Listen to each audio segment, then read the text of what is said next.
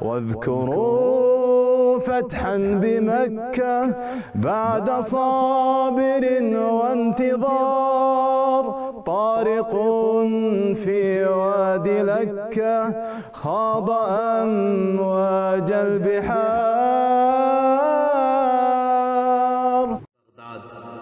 گزشتہ پانچ صدیوں میں خلفائے بنو عباس کی پرامن تعمیر نے بغداد کو ایک شاعر کا خواب بنا دیا تھا۔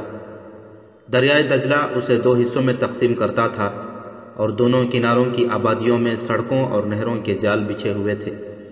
بغداد کے محلات اور مکانات گزشتہ پانچ سو برس کے فن تعمیر کے ارتقاء کی داستان بیان کرتے تھے۔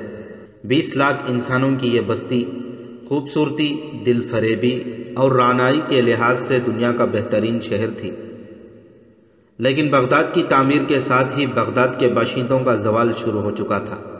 دربار خلافت میں عربوں کا وہ اثر و رسوخ جو خلیفہ مامون کے زمانے سے کم ہونا شروع ہو چکا تھا، اب قریباً ناپید ہو چکا تھا۔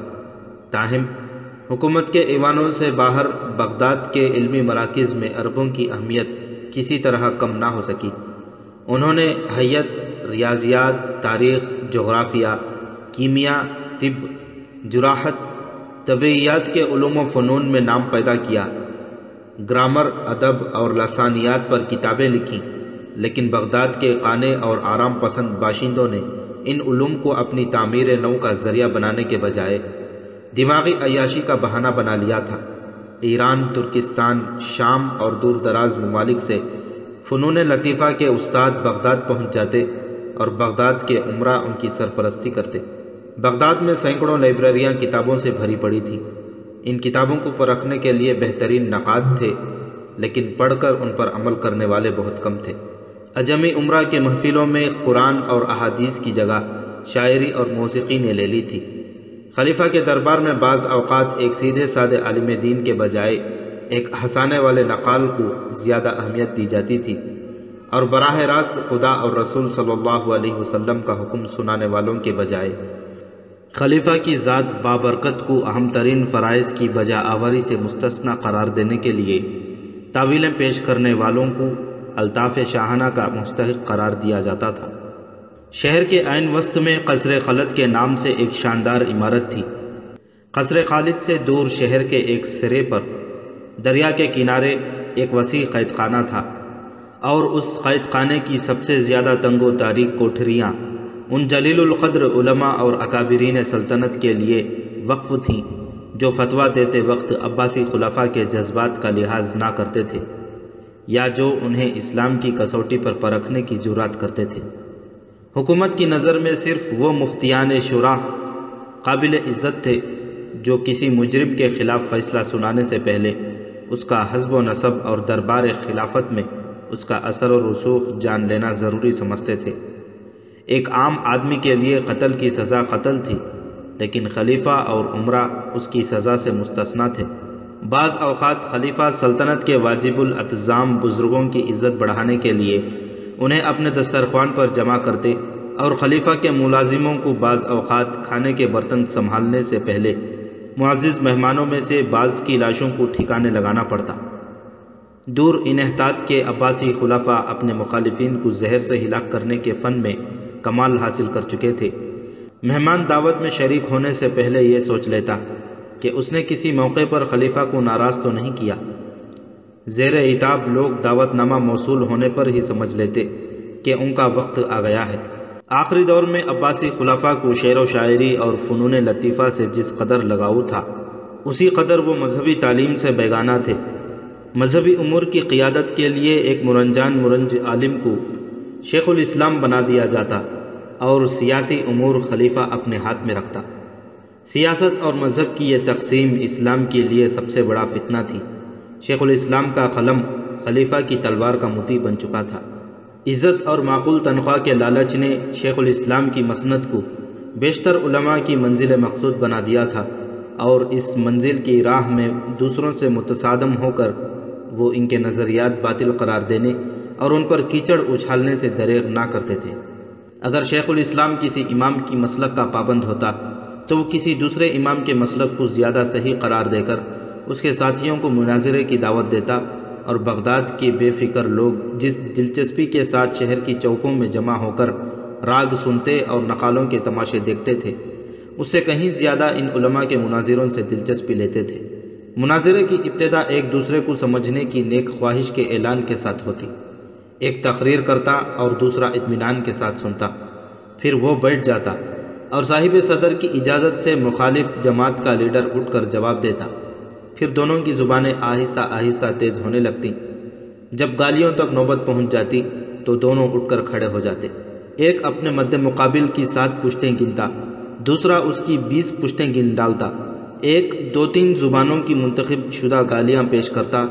تو دوسرا چھ سات زبانوں کی چیدہ چیدہ گالیاں سنا دیتا اور پھر دونوں اپنے اپنے گروہ سے ہمدردی رکھنے والے عوام سے مخاطب ہو کر انہیں گالیوں کا مطلب سمجھاتے اور جب عوام کا جوش انتہا کو پہنچ جاتا تو دونوں طرف سے نعرہ تکبیر بلند ہوتا اور دونوں گروہ ایک دوسرے پر ٹوٹ پڑتے اور آن کی آن میں لاشوں کے ڈھیر لگ جاتے آخر کار پولیس اور فوج کی لاٹھیاں اس کھیل کو ختم کرتی حکومت نے مناظروں کو تو بند نہ کیا یہ حکم جاری کر دیا کہ وہاں کوئی آدمی مسلحہ ہو کر نہ جائے۔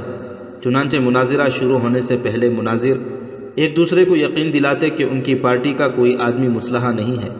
اس پابندی نے لڑائیوں کو کم خطرناک بنانے کے ساتھ مکہ بازی اور کشتی کے فن کو اوج کمال تک پہنچا دیا۔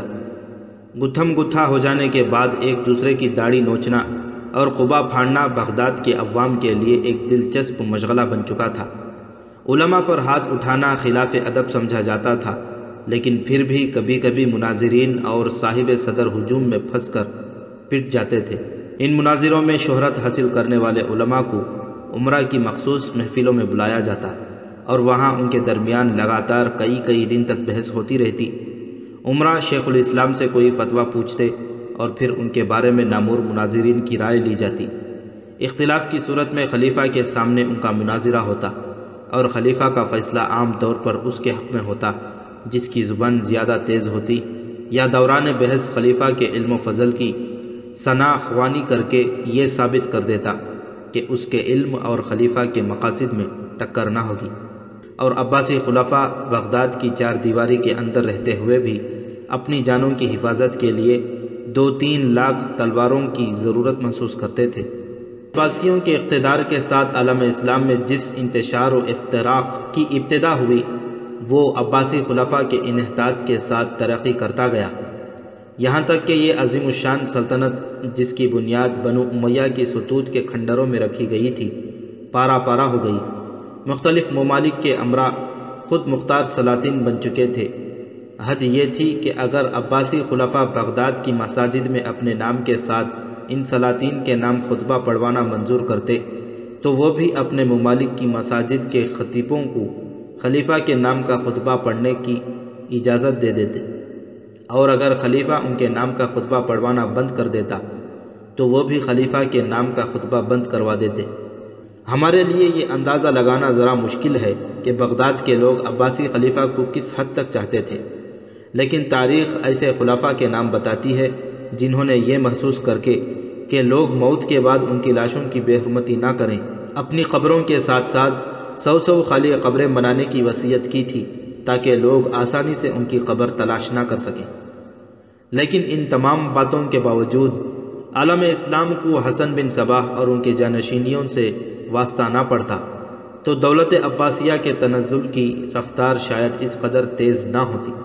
ملک شاہ سلجوقی کی وفات اور اس کے وزیر اعظم نظام الملک کے قتل کے بعد عالم اسلام میں اس خطرناک تحریک کا سردباب کوئی نہ کر سکا۔ اور حسن بن صبح کے فدائی قاتل گزشتہ صدی میں عالم اسلام کے درخشندہ ستاروں کو موت کے گھاٹ اتارتے رہے۔ وہ باعمل علماء جن سے عالم اسلام کی صحیح رہنمائی کی توقع ہو سکتی تھی، ایک ایک کر کے قتل کیے جا چکے تھے۔